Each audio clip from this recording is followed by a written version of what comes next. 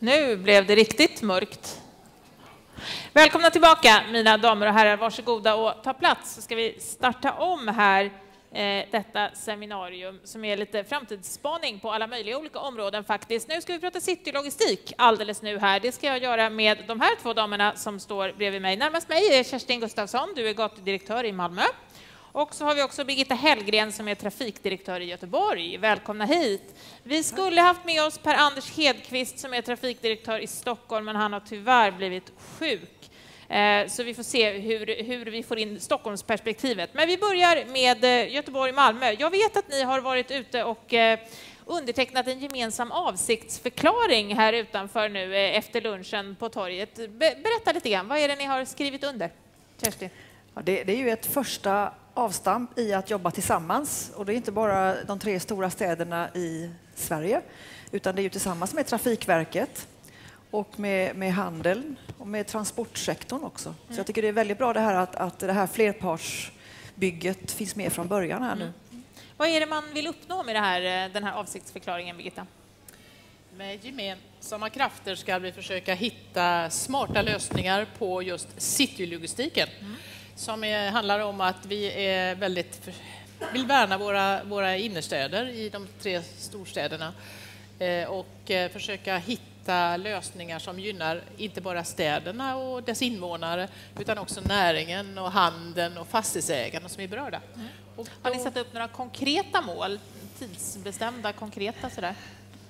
Det, det, finns ju mål kring detta med att skapa lokala godstransportråd. Och det, det är ni igång med i Göteborg redan, men i Stockholm och Malmö så har vi börjat så smått. Mm. Och i Malmö kan jag konkret säga att den 7 juni så har vi ett seminarium om, med då berörda aktörer lokalt kring mm. hur vi får igång det här lokala godstransportrådet. Och det är ju eh, efter modell av det som Banverket startade med för ett antal år sedan nu, 10-15 år sedan, som heter regionalt godstransportråd, men där städerna inte är med dem, utan det är de regionala aktörerna och transportnäringen. Mm. Men något motsvarande på lokal nivå för att hitta formerna för, för hur vi tillsammans kommer vidare. Mm. Vad gör ni på den eh, bogen i Göteborg? Ja, vi har ju haft ett lokalt sånt här råd ett antal år och eh, funnit att det är en väldigt eh, bra mötesplats för att diskutera dels gemensamma frågor, eh, känna i vilka avseenden är vi, är vi på samma nivå, så att säga. Så vi, var kan vi mötas? Och eh, för det tror vi är själva lösningen på att komma framåt. Man måste vara hyfsat ense om vem som vinner, vem som gör vad och liknande. Och då, då ska man samlas effektiva möten, korta möten. Och i vårt fall så har, man, eh, har vi jättestor närvaro av fastighetsägare, mm. entreprenörer, transportörer. Och det visar ju också då att det är inte bara en engångsföreteelse utan det här är någonting som man uppskattar. Mm. Och man kommer bara om det är nyttigt för mig och min affär och så. Mm. Så det gäller att göra det nyttigt för alla, ja, en win-win. Det här med citylogistik, storstadslogistik, det pratas ju väldigt mycket om det och eh, det är ju en väldigt viktig fråga. Hur skulle ni säga att ni jobbar med det? Vad är det viktigaste, Kerstin, i Malmö stad när ni jobbar med citylogistik? Ja, det vi har jobbat med sen, egentligen sedan i augusti när vi samlade ihop oss väldigt kort varsel, några stycken aktörer från olika håll, det är ju att fokusera på att det här ska vara eh, lönsamt. Det ska vara affärsutveckling för de som är varuägare kan man säga. Då liksom, eh, jag värnar ju mycket om de små butiksägarna i, i Malmö stadskärna. Att de får förutsättningar för det eh, förändringsarbete det innebär också att gå in i, i till exempel en samdistribution med någon, någon uh, lite extern terminal eller hubb eller någonting. Mm. Va? Där det gör saker med, så att säga, med mina varor som jag själv kanske inte har direkt kontroll över uh, visuellt då i alla fall. Va? Men att det ska vara ett mervärde för den enskilde butiksägaren som, som syns på sista raden också. Det där är jätteviktigt. Och att det här med citylogistik inte kan bli ehm, sådana här tillfälliga projekt som lever så länge det har EU-bidrag eller andra skattesubventioner. Utan citylogistik måste bära sig självt. Mm. Hur långt har ni kommit i det här arbetet? Är ni precis i början? Vi är precis i början kan jag säga. Sen har vi en liten sak i, i Malmö som jag är väldigt eh, stolt och glad över själv och det är mm, ett lastfar. Det är en, en sorts eh, eh, tunnel egentligen, en, en transportled in till Triangels nya köpcenter. Den är färdigbyggd nu och nu ska de bara bygga på bygget ovanpå den här 40 mm. meter långa eh, sträckan in från Pildammsvägen och in. Där man tar in varu varuflödena till affärerna, till restaurangerna och man tar ut avfallet och förpackningarna och allt som är förbrukat till återvinning den vägen också. Och slipper ha det på gatuplan. Mm. Inne, inne vid triangeln. Så mm. det, det, är en stor förbättring. Och, och sen är så skoj att höra då att det här med lastfar. Hamburg har ju en ny stadsdel som heter Hafen City. Och där jobbar man jättemycket med lastfar också. Mm. För att få in leveranserna i stan men ta in dem under jord istället. Mm. Det låter spännande. Vad gör ni i Göteborg? Ja, vi har, vi har ju testat på... Eh, alltså en av grejerna som jag vill säga först är att man, man kanske ska testa på lite, i lite mindre omfattning innan man går in i de här i, i centrala kärnorna i städerna.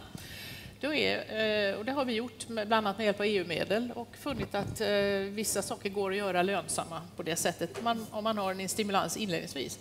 Med de erfarenheterna så har vi eh, hittills jobbat med vår innerstadskärna som är en gammal, gammal låg, lågt bebyggd, tätbebyggd kärna och jobbat med fastighetsägarna för att rusta området, gatumiljön till exempel. Eh, jobbat med fastighetsägarna och branschen, eh, transportbranschen för att hitta lösningar för hur ska vi transportera in saker, på vilka tider, vilka storlekar på fordon, vilken, ja, eh, ska det vara fordonsfritt någon tid på dygnet etc. etc. Och jobba så, så att, så med sådana frågor som alla har nytta och glädje av. Alltså mm. vägen vi som stad och företrädare för medborgarnas möjlighet att komma till och det ska vara vackert. Och så. Vi har rustat gatubeläggningar tillsammans, delat kostnader med fastighetsägarna och så. så att man får visa nyttigheter. Mm. Sen när vi kommer till det här med eh, det vi är inne på nu då, eh, så, så har vi ju det förtroendet i botten. Eh, och då gäller det ju att att titta, eh, vem kan vi gynna? Och jag vill hänga på det här som Kerstin säger, de små butiksägarna. Vi har ju, städerna är fulla av de stora kedjornas affärer och så har vi de riktigt små, kanske till och med ensamföretagare. Mm. Och det kan vi inte förvänta oss att vi ska ha samma eh, vad ska jag säga, intresse från de här olika grupperingarna, utan då får vi försöka hitta vad, vad kan vi göra för de små? Mm.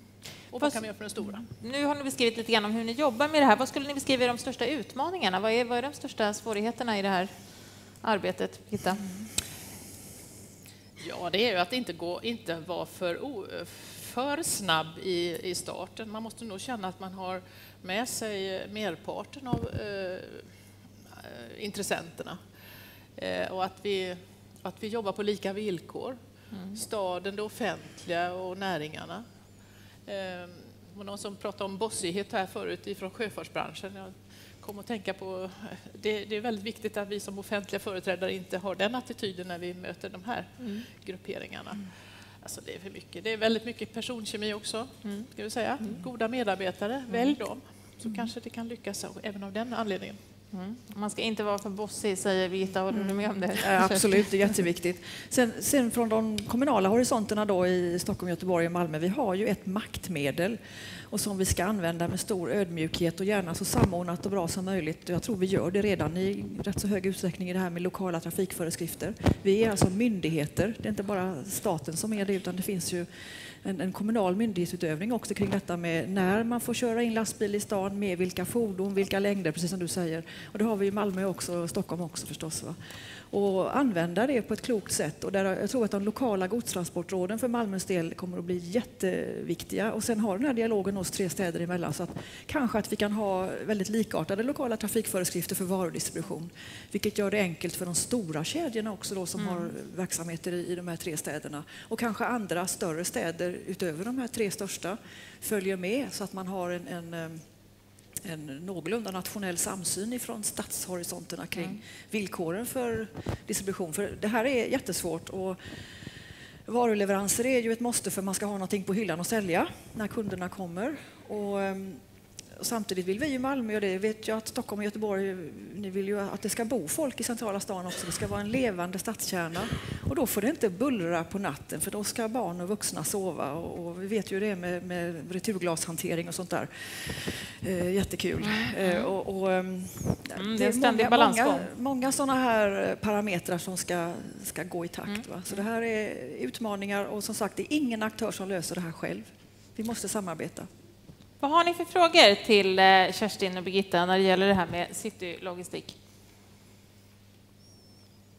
Solklart Kerstin. Solklart. Varsågod, du ska också få mikrofonen här.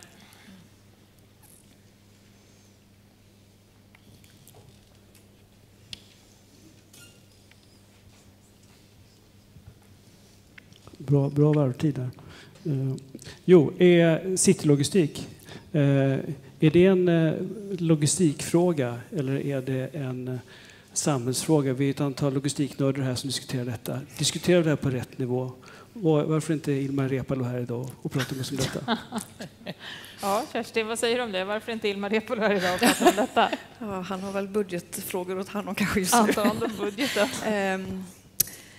Jag ser det som en samhällsfråga mer än en, en, en logistik. Det är ju en kompetensfråga in, in i detta. Men att det, det, är inte bara logistik som, som löser det utan det, det är ju mixen av olika kompetenser här. Och bara en sån sak som detaljplaneprocesser när man bygger om och som i Malmö vi har så mycket förtätningar i sikte eftersom vi inte får låta staden sprida sig över den goda jordbruksmarken. Så eh, det här med stadsplaneringen i, i att få in varuflödestänket från början i, i eh, översiktsplanen, i detaljplanerna.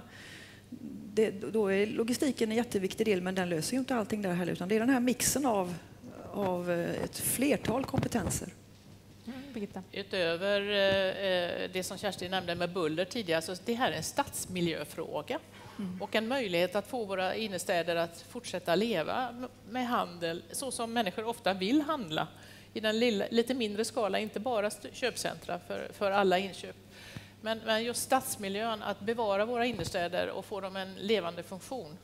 Eh, och då till det hör ju då bland annat, eh, har vi glömt att säga, miljö, miljö, miljöfordon på något sätt. Det kan vara batteridrivna fordon och annat som, vi, som kan gynna och förstärka den här bilden av den goda innerstaden. Eh, följdfråga. Eh, man får intrycket av att Göteborg har kommit längre än både Stockholm och Malmö. Kanske, jag vet inte om det är så, men jag vill tro det. Har ni ett mer högre tryck uppifrån och mera resonansbotten i kommunledningen än Stockholm och Malmö, tror du? Det vet jag inte hur man kan uttala mig om ens. Eh, alltså jag tror det handlar om eh, en, en slags kulturfråga att samarbeta. Eh, nu råkar ju Göteborg vara en, en logistik och transportstad med väldigt mycket vi har mycket sådana frågor på vårt bord, både i innerstaden och också ytterstaden och ut mot Göteborgs hamn. Så att frågan är inte så konstigt att den har dykt upp. Men jag tror det handlar om, eh, har startat utifrån konkurrens mellan externhandel och cityhandel och att hitta en, en, en, en för alla ekonomiskt och miljömässigt vettig lösning för innerstadshandeln för att kunna lyfta kvaliteterna där. Kerstin, vad säger du om detta? Göteborg ligger lite före. Ja, det kan jag hålla med om. Mm. Vad har ni att lära av Göteborg? Vad tar ni med er därifrån? Det, det, är ju det här med lokala godstransportråden till exempel. Det är ju en klar sån eh, vidareutveckling av något som fungerar bra i Göteborg, absolut. Mm. Och ehm, sen, sen, de erfarenheter som Göteborg samlar på sig nu i sina pågående projekt, att vi, vi delar med oss. Det här med att prata med varandra och inte vara så mycket konkurrenter i, i de här sammanhangen i alla fall. Va? Det tror jag är jätteviktigt framöver. Och ehm, jag vet ju från eh, dagligvaruhandel finns det ju ett jättefint gammalt, gammalt exempel från långt bort i tiden, Bryggarföreningen där en rad bryggerier var knivskarpa konkurrenter gentemot konsument. Men på den tiden jobbade väldigt mycket tillsammans i det som var bakom butikshyllan. Mm. För det var bra för branschen. Och det var även då miljömässigt klokt med samlastning och så vidare. Det var mm. gemensam mm. emballage och sånt där. Så, ja, ja, finns det en liten bit här, här, finns, här finns mycket mer att göra. Men just det här med att, att uh, inte se det som en kompetens, inte se det som en eller ett fåtal aktörer utan det, dialogen och kunskapsuppbyggnaden och insiktsuppbyggnaden mm. för att kunna driva ett mm. förändringsarbete. Någon avslutande fråga? Vi har en där nere, varsågod. Katarina får verkligen veckans motion här idag.